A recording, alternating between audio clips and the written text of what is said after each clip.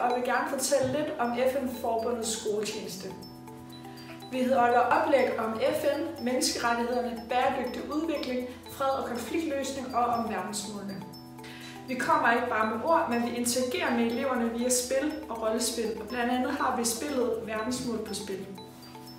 Verdensmål på spil henvender sig og ungdomsuddannelserne og en kombination af et traditionelt brætspil og en app. Til ungdomsuddannelserne tilbyder vi forskellige Minimodels UN. Det er rollespil, der giver eleverne forståelse for verdens udfordringer med udgangspunkt i FN's arbejde.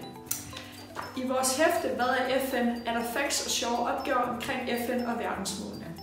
Du kan finde vores materialer på verdensteam.dk.